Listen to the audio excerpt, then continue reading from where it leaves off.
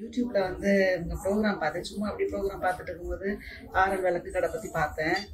அவங்க வந்து இந்த வாராய் அம்மனை பற்றி நிறைய பேசியிருந்தாங்க.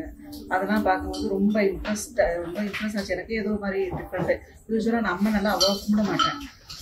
எனக்கு என்னோட ஃபேவரெட் வந்து பிள்ளையார். இவங்க தான் லக்ஷ்மி பிள்ளையார் இவங்கள தான் கும்பிடுவேன்.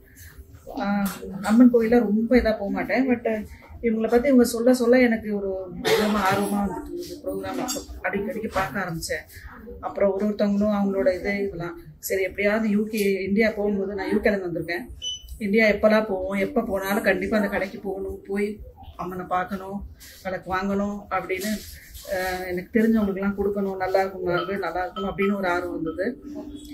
வந்து இறங்குனதுன்னு போகணும் போகணும் போகணும் அப்படின்னு சொல்லிட்டு இருந்தேன். ரெண்டு நாள் ஆச்சு நான் வந்து. ஸோ ஊருக்கு போயிட்டு திருப்பி ஒரு விஷயம் ஊர் திருப்பி சென்னை வந்தேன். வரும்போது சொல்லிட்டு இருந்தேன் போய் விளக்கு வாங்கணும் வாங்க போகலாம் போகலாம் ஸோ அவ்வளோவா இன்ட்ரெஸ்ட் காட்டல என் ஃபேமிலியில் இன்னும் விளக்கு விளக்கு எங்கே ஒரு பூஜை பண்ணுறதுக்கு டைம் இருக்குது ஏன்னா காலையில் மார்னிங் போனோன்னா ஈவினிங் லேட் ஆயிரும். Eight o'clock eight thirty shift முடிச்சு வருவேன் வீட்டுக்கு. பூஜையெல்லாம் கரெக்டாக உட்காந்து பண்ண முடியாது. அப்போது நான் சொன்னேன் நீ வந்து செலவாங்கினேன்னா நீ வந்து அபிஷேகம்லாம் பண்ண முடியாது உன்னால் பாவத்தை சேர்க்காத அதெல்லாம் பண்ணாத அப்படின்னாங்க என் ஹஸ்பண்ட் நான் சொன்னேன் இல்லை நான் பண்ணுறேன் என்னால் என்ன முடியுமோ அது பண்ணுறேன் அப்படின்னு நான் பெருசாக வாங்கினேன் நான் குட்டியாக வாங்குறேன். அபிஷேகம் பண்ணாட்ட கூட பரவாயில்ல. காலையில் விளக்கு ஏற்றுறோங்க காலையில சாயந்தரம் விளக்கு ஏற்றுறோம் மாற்றி மாற்றி ரெண்டு பேரும் ஏற்றிக்கிறோம் ஸோ அதுவே போதும் அப்படின்னு சொல்லிட்டு ரொம்ப கன்வின்ஸ் பண்ணி கூட்டிகிட்டு வந்து வர வர வழியெல்லாம் திட்டு வாங்கிட்டு தான் வந்தேன். இங்கே உள்ளே வந்தோடனே அப்புறம் அவங்க கையால் விளக்கு வாங்கணும்னு எனக்கு ஆசை இருந்தது. இருப்பாங்களா? இல்லையா? தெரியலையே. இன்ட்ரெஸ்ட்டில் வரும்போதே அவங்க நேரில் பார்த்தேன். ஆப்போசிட்டில் அவங்க வெளியில வந்துட்டு இருந்தாங்க. ஒரு திருப்தியாக இருந்தது. ஸோ உள்ளே வந்து விளக்கெல்லாம் பார்க்கும்போது எனக்கே நிறையாமே ஒன்று ஒரு விளக்கு வாங்க வந்தேன். அப்புறம் எங்கள் அம்மா கொண்டு வாங்கலாமான்னு தோணுச்சு. அப்புறம் மாமியார் விளக்கு ஏற்றுவாங்களே ஏற்றுவாங்க பட் வாராகி பற்றி தெரியுமா? தெரியாது. எக்ஸ்பிளைன் பண்ணி. அப்புறம் அது ஏற்றாமல் வச்சாங்கன்னா அப்படின்னு சொல்லி வாங்கலாமா வேண்டாமான்னு யோசிச்சுட்டே இருந்தேன். அப்போ சரி பரவாயில்ல. அப்புறம் இன்னொருத்தவங்க என் மாமியார் ரிலேட்டிவ்ஸ் வந்து ரெண்டு நாள் முன்னாடி அவங்க வந்து அவங்க வீட்டில் ஃபேமிலியில் பிரச்சனை. ரெண்டு பேரும் ஒரு மாதிரி டிவோர்ஸ் போகிற மாதிரி கூட பேச்சு நடந்துட்டு நான் சொன்னேன் அப்படிலாம் பண்ணாத. என்ன ப்ராப்ளம் பேசி தீர்த்துக்கோங்க. விளக்கு மாதிரி வாராய் அம்மனை ஏன் கும்பிட மாட்டேற விளக்கு ஏற்றி கும்பிட வேண்டியதானே அப்படின்னாங்க.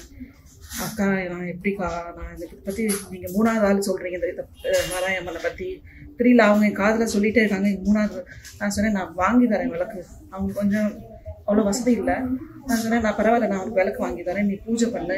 என்னால் அபிஷேகம் பண்ண முடியாது கூட. நீ கொஞ்சம் ஸ்லோவாக பண்ண ஆரம்பி அபிஷேகம். நல்லா பண்ணி நல்லா பூஜை பண்ணணும் நல்லா இருப்பேன் அப்படின்னு சொன்னேன். அவங்க சொன்னாங்க சரிக்கா நீங்கள் வாங்கி கொடுங்க நான் பண்ணுறேன் அப்படின்னாங்க. அப்புறம் அவங்களுக்கு விளக்கு எடுத்தேன். அப்புறம் சொன்னேன் மாமியாருக்கும் ஒன்று எடுத்துருக்கோம் என் மாமியாருக்கும் ஒன்று வாங்கினேன். மொத்தம் அஞ்சோ ஆறோ வாங்க வாங்கியிருக்கேன் விளக்கு. இன்னும் வாங்கணும்னு ஆசை பட் வெயிட் எவ்வளோ எடுத்துகிட்டு போக முடியும் தெரியாது. பட் கண்டிப்பாக மறுபடியும் வருவேன். எல்லாரும் நீங்கள் இதெல்லாம் தெரிஞ்சுக்கணும். ஆஹ் ஏதோ என்னால் முடிஞ்சது. எனக்கு இன்னும் நிறைய வாங்கணும்னு ஆசை. பட் இப்போதைக்கு போய் ஆரம்பிப்போம் அப்படின்னு வாங்கியிருக்கேன். ஸோ அவங்க கையால் வாங்கினது இன்னும் சந்தோஷம். சரி.